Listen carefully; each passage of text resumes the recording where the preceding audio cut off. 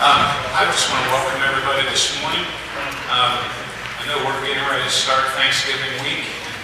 Probably have some people traveling. Hopefully we have some folks visiting as well. And I'm, I'm certain we have some folks preparing to go hunting and all those fun things. So we're glad you're with us this morning. If you are visiting this morning, I encourage you to look at the back of your bulletin and you'll see an opportunity here to fill out some information for us. Right here, you can see the visitor's block. If you fill that out, if you have any prayer needs or anything that you'd like for us to pray for, for everyone, um, you can fill that out as well. This folds off nice and neat. You can tear it, tear it off and put that in the offering plate for us so that we can follow up. So if you're visiting or need uh, any prayer issues, anything you want us to do, please fill that out and put it in the bulletin. Um, you can see looking in your bulletin this morning, I do encourage you guys to read these. Take them home with you, look them over. There's a ton of information uh, from prayer needs and prayer concerns, and they're broken out into uh, a couple different categories. That information is also in the hallway over here uh, by the kitchen.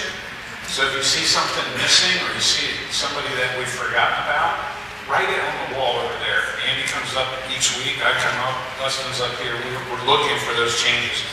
Um, you know, we've got birthday, reader, nursery schedules. All that information is in here, as well as the schedule for the coming week. So I really encourage you to look at that. Announcements, uh, I'm just going to highlight, there's a lot in here, but uh, we continue to look for uh, nursery volunteers. We're still looking to hire some folks there. That's been a slow process. But we're adding some, some service times um, between Thanksgiving and Christmas, and then beginning again in January, we're going to start meeting on Sunday evenings at 6.30.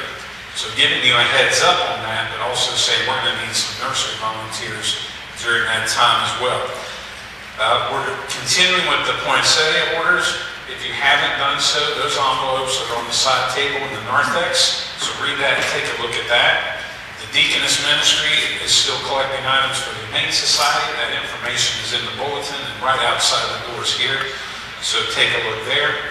Countdown to Christmas, I mentioned, see Katie if you have um, a singing or musical gift that you would like to put a video and share. She's going to post that as an advent throughout the month of December. So we'd like to do that. Night of Bethlehem, Night in Bethlehem, sorry, is coming up. Um, Saturday, December 4th. We still have some open uh, things out there that we need some help with. Diana uh, is going to ask that everyone, anybody that's interested or anybody that has signed up already, um, if you'll stay just for a few minutes after church today, and again next Sunday, she just wants to organize um, that and talk about, there's several things we still need help with, food, some different things with they're going to need help with tearing down, getting the sanctuary set up. Uh, on, the, on the 4th, they need some help with canopies and just volunteers. There are stations in this event, and so they'll need people at each station. It's a, a really good event, so I'd encourage you, uh, after church and meet with Diana on that today and again next Sunday. Uh, and moving on, we have uh, a message of thanks in there from Linda Walker. It's nice to see you here again this week. Um, so we want to continue to pray for Linda and, and uh, her family. Um, but there's a note there for all of you. The mission group is still, um, is that still going on? I don't know Jan, are, they are we still collecting food or is that finished for the disabled pets? We're still collecting, okay. The way that reads, it's every week. I just wanted to make sure. So we're still collecting food out here for the disabled veterans, and we want to make sure that we continue to do that. And thank you uh, for what you've done so far. That's gone quite well. Uh, one last thing that I want to bring to your attention is this insert that you see in your bulletin. Okay, this one is specific to a Bible study that we're going to do on Sunday nights beginning next Sunday night. And it's called The Heart That Grew Three Sizes, which should give you give away that it's about the Grinch. So we're going to we're going to follow the story of the Grinch uh, and, and, apply that to our Christmas Advent as we roll into the holidays. So that should be a lot of fun. And just say in advance, we're not picking on anybody. Nobody has to uh, volunteer that they are already Grinch. Not making eye contact with anybody. But this should be a lot of fun.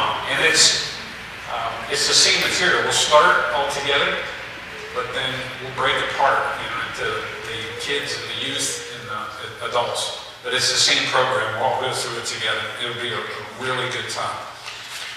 So lots of things happening, as always. Uh, a few changes. If you if you heard me there say we're going to in Sunday, in, sorry, in the new year, we're going to resume Sunday evening services. And the intent of those services, as well as this one, very important. Our intent is outreach. We need to be more evangelical. We need to be evangelizing and spreading the good news. So the intent of our Sunday night services is going to be edification and evangelism. So the, the point over the next four weeks, obviously this is going to be fun. Bring somebody with you. Invite somebody that doesn't know God, doesn't know Jesus, or just doesn't have a church family. Uh, and the same thing as we move into next year with Sunday nights. Just want to put the period on that. Any other announcements or anything that a lot of times everybody brings me stuff at the last minute. Did I miss anything? All right, let's go to God in prayer. Dear Heavenly Father, thank you for this day. I thank you for the opportunity that we have as a church family to worship you freely. Thank you for the abundance which you've blessed us. Lord, as we enter into a week of Thanksgiving, we should be reminded to be thankful every week. But during this week, let us just take pause. I pray that it'll start today with this service. That we will focus ourselves on you and we will give thanks.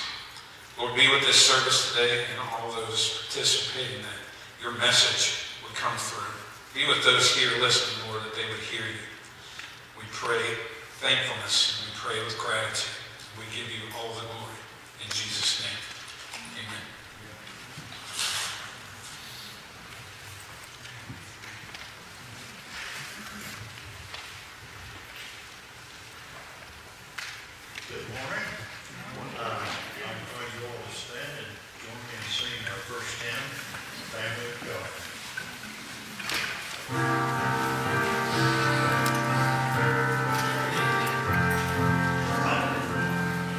Watch.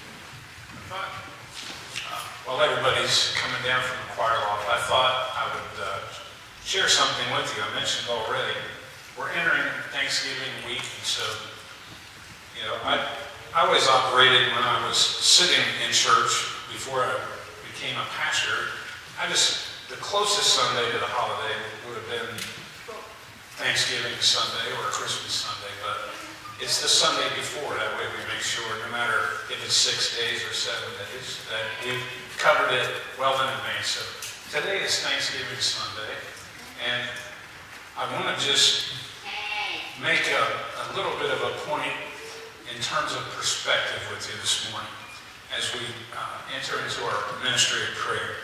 So I'm going to start by reading something to you. So all ye pilgrims, inasmuch as much as the great Father has given us this year of abundant harvest of Indian corn, wheat, beans, squashes, and garden vegetables, and has made the forest to abound with game and the sea with fish and clams, and as much as he has protected us from the ravages of savages, has spared us from pestilence and disease, has granted us freedom to worship God according to the dictates of our own conscience. Now, I, your magistrate, do proclaim that all ye pilgrims with your wives and little ones do gather at the meeting house on the hill between the hours of 9 and 12 in the daytime on Thursday, November 29th of the year of our Lord, 1623, and third year since pilgrims landed here on Pilgrim Rock there to listen to the pastor and render thanksgiving to Almighty God for all his blessings. Son William Bradford, governor of the Plymouth Colony. That's an obvious reading for Thanksgiving. But I think it gives us some perspective as we think about the ministry of prayer. We think about all the things that we're dealing all the things that are heavy on our heart. And we get a little perspective from what was shared here and what they were facing. But the most important part, the freedom to worship God according to the dictates of their own conscience. That's why they were there. That's why they took the risk and suffered all of those other things. And they were thankful. So we, we need to enter this week in that attitude and that perspective toward Thanksgiving. Let's pray. Dear Lord, we have so many needs and concerns that we need to lift up to you this morning. And we just need to put those battles in your hands. You've, you've already fought them and you've already won them. We just need to pause right now to praise you and thank you, to remember just how blessed we really are, to remember you, to remember what you did for us, and to give thanks for your grace.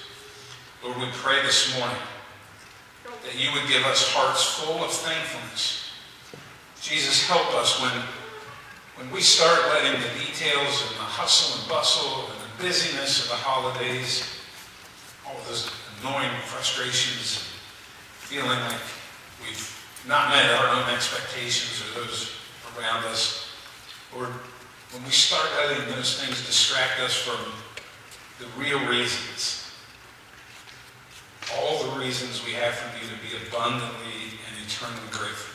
Just help us have a heart full of thankfulness every day. Lord, we pray this morning for an attitude of gratefulness.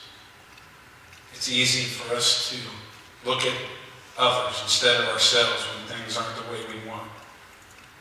It's easy for us to blame you lest we forget to thank you and thank others.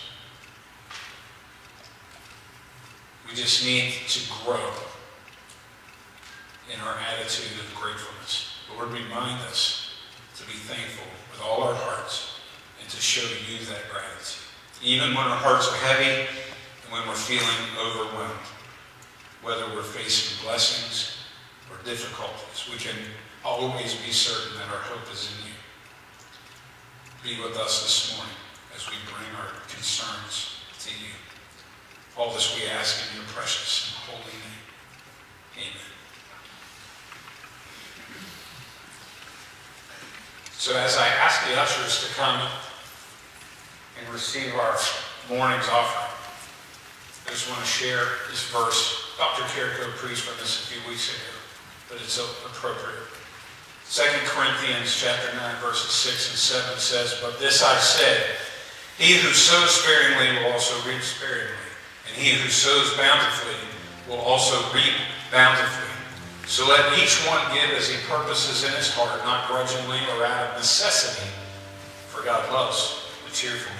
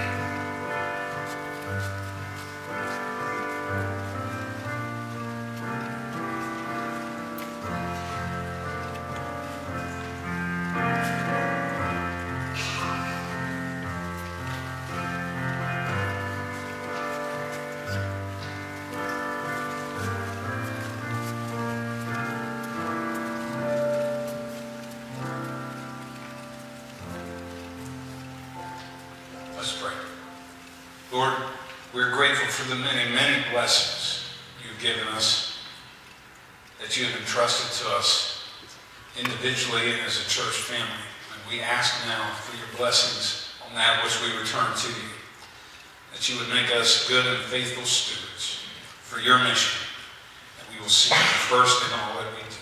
In Jesus' name, amen. Thank you. So, in the course of week, Dustin and I never quite sure what we're going to find ourselves involved in. And uh, we had an opportunity Wednesday, Wood County Christian did their K-12 Connect, and one of the families uh, visiting here, involved in the church here, their kids all go, and they were very gracious in inviting us to attend. It was a wonderful uh, event. Um, they invited all the kids that were participating, invited their pastors. So it was really neat. There were about 30 pastors there. We were there to support all of those youth and kids, but also uh, it was cool. They prayed for us. You know, they were there to support and lift us up. It was a neat time. The outcome of that was, though, they ran the whole worship service. They had a, uh, had a praise band going. Uh, they had kids up singing. It was, and group, it was awesome. In the process of that, I realized that about four of those kids that were visiting were in that band. And I was, God said, you need to go tell them they need to come and do some special music for us. So this morning, I want to invite uh, the Erlinsons up, and they are going to give us our special music. I spent all week trying to come up with a cool name for the Erlinson family band, and that's the best I could do.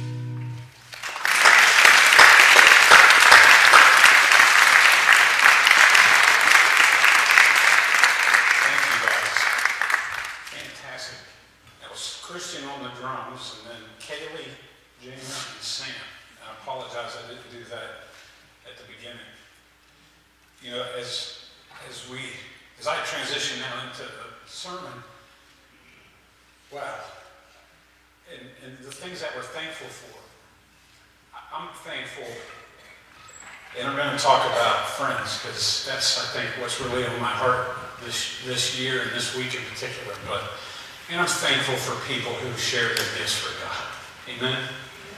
That's awesome. And I'm thankful that you reached out to us.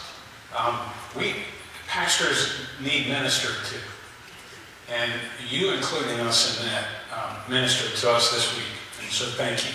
I appreciate that. And thank you for sharing. So I've talked a ton about Thanksgiving already. And, you know, it's here. I don't know where the year is gone. It's hard to believe that um, it's Thanksgiving week. And, and I was going to joke, you remember Thanksgiving, right? It's that holiday that's in between pre-Christmas and Christmas. remember, remember when Thanksgiving was its own holiday?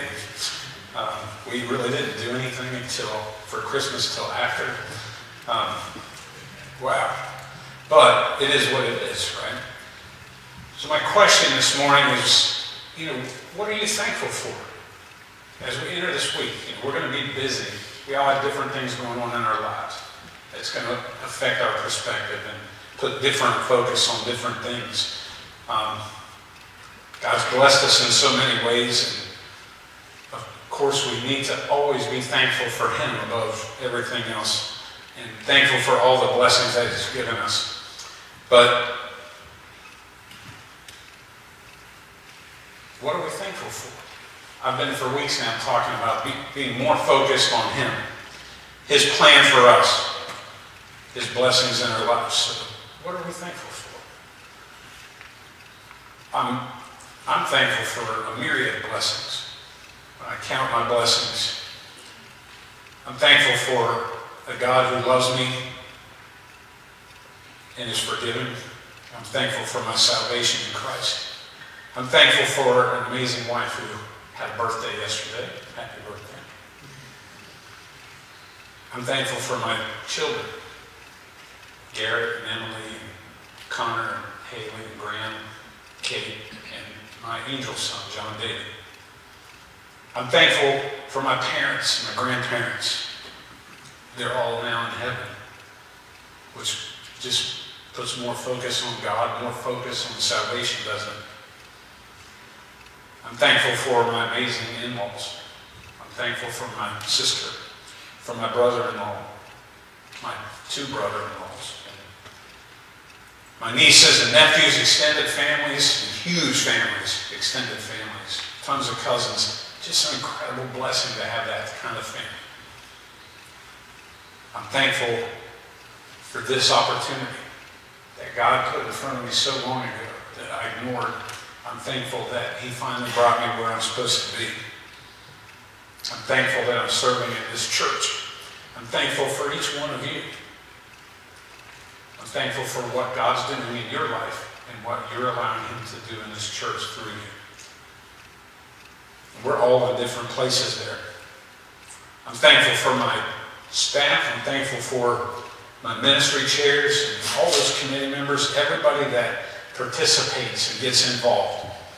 People who volunteer and serve, using their gifts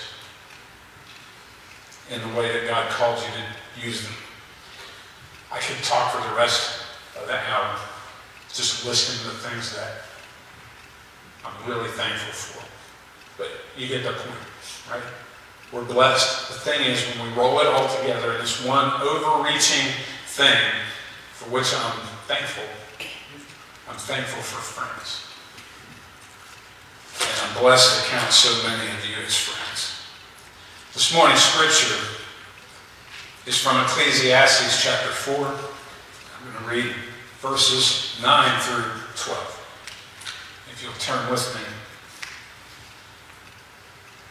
This pericope, this section in the book of Ecclesiastes, is titled The Value of a Friend. Verse 9 starts, Two are better than one because they have a good reward for their labor. For if they fall, one will lift up his companion. But woe to him who is alone when he falls, for he has no one to help him up. Again, if two lie down together, they'll stay warm. But how can one be warm alone? Though one may be overpowered by another, two can withstand. And a threefold cord is not quickly broken. Let's pray. Dear Heavenly Father, thank you for your word. And I pray that you would bless this reading of your word. Now I ask that your Spirit would open the ears and hearts of those who need to hear. Let the words of my mouth and the meditations of my heart be acceptable in thy sight, O Lord, my strength and my Redeemer. Amen. So yeah, I am thankful for friends. And I have a ton of friends.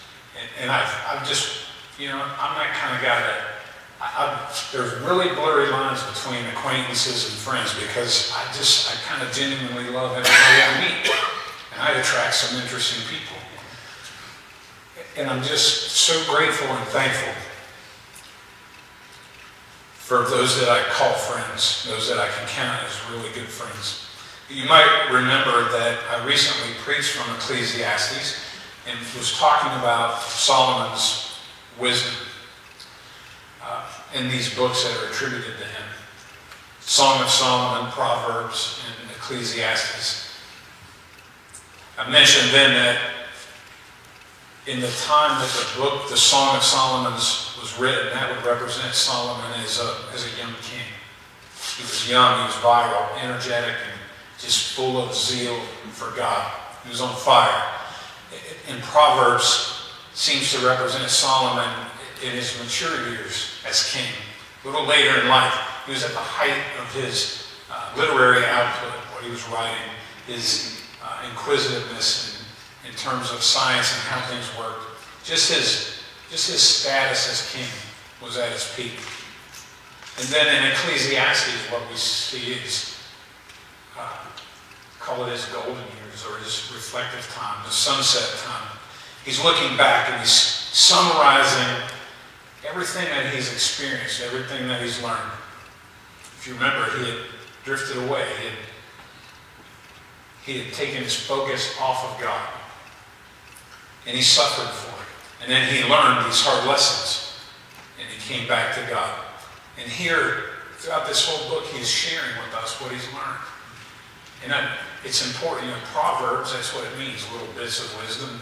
He gave us a whole book of those. In Ecclesiastes, I feel like it's, it's more seasoned. And it's good to have that context as you're reading through anything in this chapter or in this book. But today, when we're talking about friends, and you know, this is applicable probably to any type of relationship that you would have, friends or otherwise. Verse 9 starts, Two are better than one because they have a good reward for their labor. Well, we, we often talk about two being better than one. We get that. Right? We talk about it a lot. Probably more so with marriage, but it can be applied to any, any partnership. So it's not limited to marriage.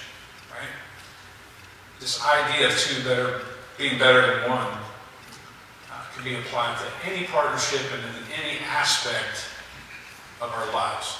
It's not to mean that um, being alone is negative, right? We have to learn to thrive and be alone. We have to learn to find joy and trust our hope on our own. But that's just not how God intended us to be. He made us to be in community with other people. So when you add another person to your life, the situation is usually improved. It's usually better Better being the key word. Solomon stating that a better way, a more fruitful way to live is in community with other people. That's how God made us. And that was clear from the very beginning. In Genesis 2.18, God said, and the Lord said, it's not good that man should be alone. I'll make him a helper comparable to him. So right from the beginning, it was clear that we're to be in community. Solomon goes on to describe different aspects in life when specifically when two are better than one. Work, moments of weakness for basic survival. In verse 10, for if they fall, one will lift up his companion. But woe to him who is alone when he falls, for he has no one to help him up. In verse 11, again, if two lie together, lie down together, they will keep warm. But how can one be warm alone? No. It's not a physical reference. It's not, it's not meant in an intimate way. What Solomon is saying, it's about huddling together against the cold, right? It's about combining. It's a metaphor for combining our strengths in order to face the elements, to face the challenges of this world. And in verse 12, though one may be overpowered by another, two can withstand it, and a threefold cord is not quickly broken. Now these, these are just generalities that Solomon is giving us, just generalities of life's circumstances. But that's because this simple truth, this simple wisdom, it can be applied to any part of our lives, anything that we're going through. God created us to live in community with one another. it's not just about safety in numbers. It's that numbers, partners, relationships actually bring us in more fruitful, more successful growth. When we combine our strengths, when we combine our creativity, our gifts and talents, our ambitions, synergy happens. Synergy. When we combine all of that effort together, and then we also remember to include God, to be focused on God, we get unity. We can have synergy, we can improve and make a situation better together. But when we add God in, we get unity. That's that's the comment of threefold cord. He's talking about two is better than one. In the very last phrase, he says a threefold cord. What did he mean? Why not a twofold cord? He's talking about two is better than threefold cord is the two of us plus God. It's simple, and it's just so simple and clear. Now, in a very literal sense, I thought, well, twofold and threefold cord. Let's get literal. When you combine two pieces of cord together, it doesn't just double the strength of the cord. It's stronger than two pieces of cord individually. Add them together, it's exponential, not linear. The strength increases more than a magnitude of two. You add a third, it does the same thing. But something really cool happens if you just put those three cords together. That happens, right? You, you increase the strength. If you braid them together, you intertwine them. They're not just together. They're actually creating friction. You pull them, they're touching, right? And it increases the strength even more. So a cord, he didn't say a threefold strand, right? A cord braided together with God. It's just an incredible visual image that Solomon gave us. So in the context of these verses, I wanted to share that because I'm thankful for friends. This is a script, it's a definition of how that makes my life better and why I should be thankful. But furthermore, in the spirit of it being Thanksgiving week, I just wanted to share a few other things with you. So I want to spend just a few minutes talking about the stewardship of Thanksgiving, this idea of stewardship and Thanksgiving. So what, what does that mean? Um, in Psalm 118, verse 1, it reads, Oh, give thanks to the Lord, for he is good, for his mercy endures forever. The stewardship of Thanksgiving. A Roman philosopher by the name of Lucius Seneca is credited with this saying. He says, He who receives a benefit with gratitude, so if you receive a benefit with gratitude, he repays the first installment on his debt. That's a powerful quote. Simply by receiving a gift with thanks, you've already made the first payment back. Think for a minute. You've been on both sides of that equation. Have you ever given somebody something and they didn't act grateful? They didn't say thanks. They didn't even act like they cared that you gave it. Right? That's receiving something, no, no payment. But the second you hand somebody something, and you give them, and you can tell they're excited, that they're grateful, that they're thankful, and they even say it. This quote makes a lot of sense. They made their first installment on the debt. And thank goodness in God's case, in God's grace, that debt's paid. There is no debt. First, when we look at this verse, Psalm 118, who gives thanks to the Lord for he is good, for his mercy endures forever. First, we're giving the object of our thanks. What are we thankful for? Oh, or who are we thankful to? Oh, give thanks to the Lord. As James reminds us, every good, every good gift and every perfect gift is from above. And it comes down from the Father of lights. God owns all things. Everything comes from God. So who are we thankful to? We're thankful to God. Secondly, the verse tells us we are given the, the reason, reasonableness of our thanks. Why are we thankful? We're thankful for he is good. God is good.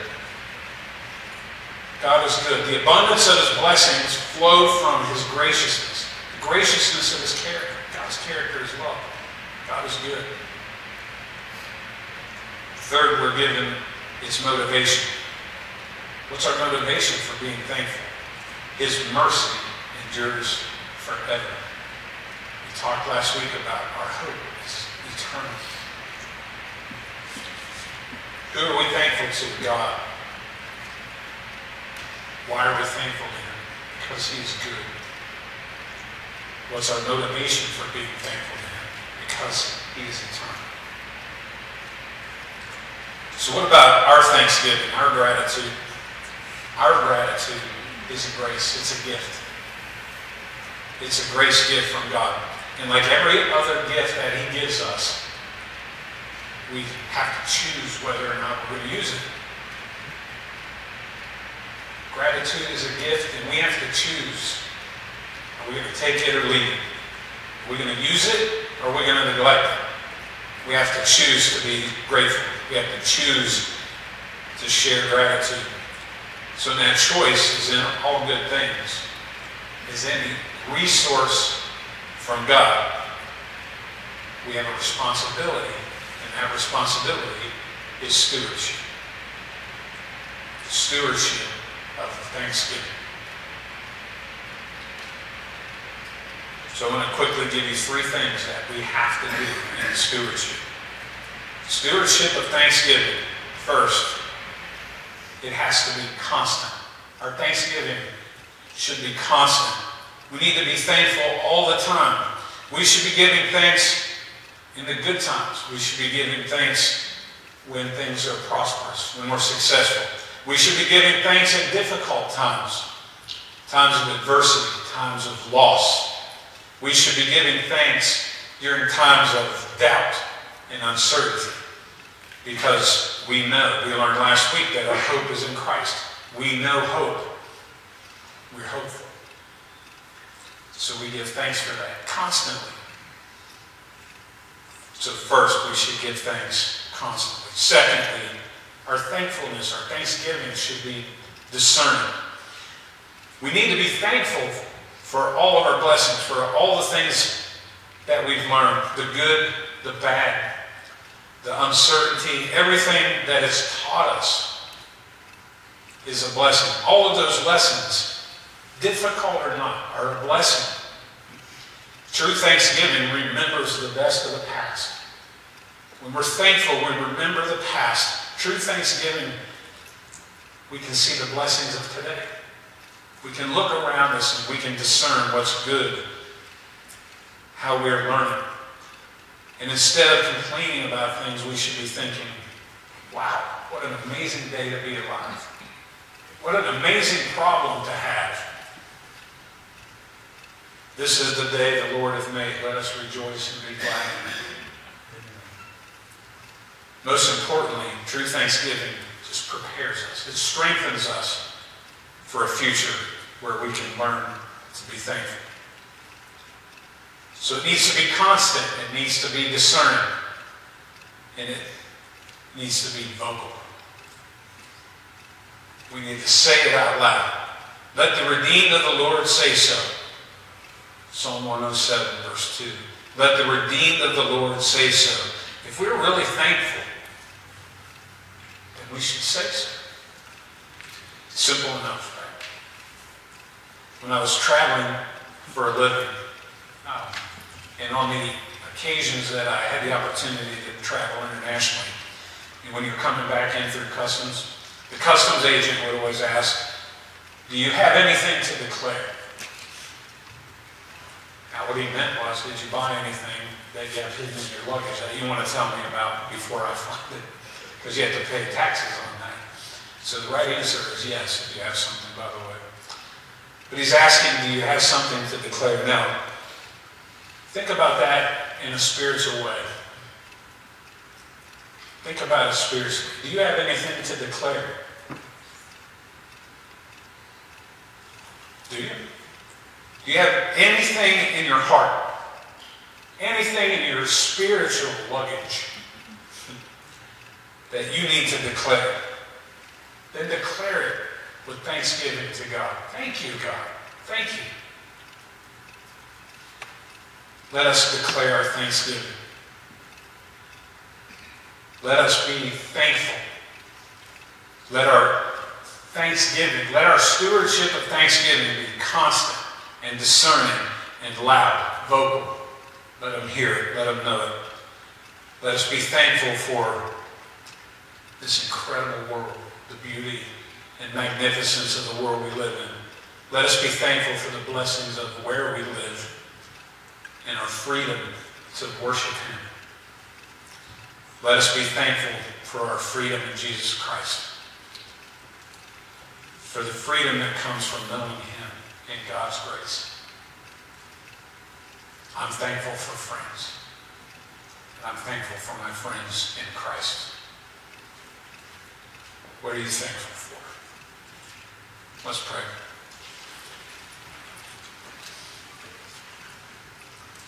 Dear Heavenly Father, I pray that this week as we enter into Thanksgiving,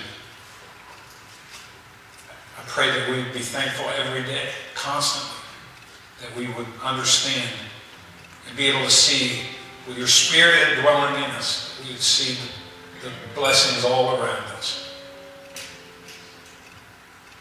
Let us offer you a heart of thanks, thanksgiving and praise in everything we do. Teach us to be joyful, to pray continually, and to give thanks no matter what our circumstances. We accept them and we accept your will. Our focus is on you. Our thanksgiving is for you. We long to bring you pleasure daily.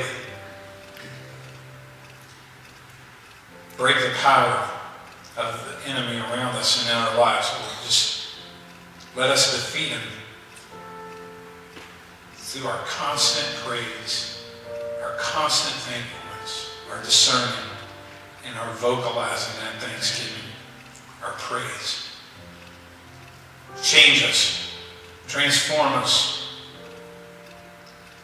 give us an outlook and attitude that's one of joy and contentment with our present, with our past, and for our future. We thank you for all the blessings of this life. And we thank you for the certainty and the hope that comes from knowing you. Lord, this morning, if someone here needs to know you, to know your hope,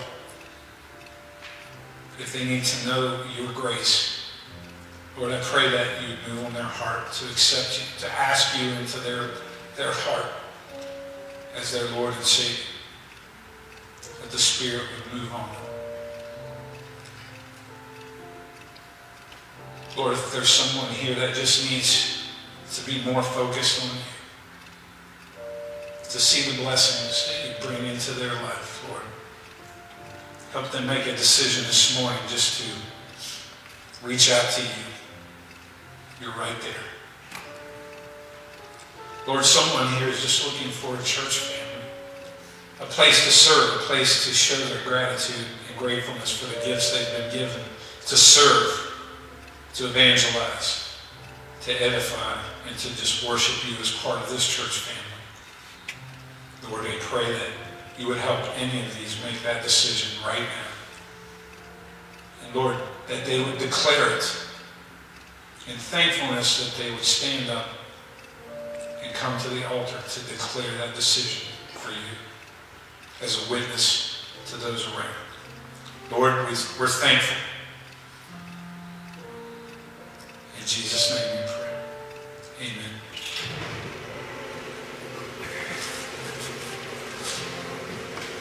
If anybody's made it this morning, I'd ask you, as always, to come and pray with me as we Please stand and join me in singing our hymn of invitation. I have decided to follow Jesus.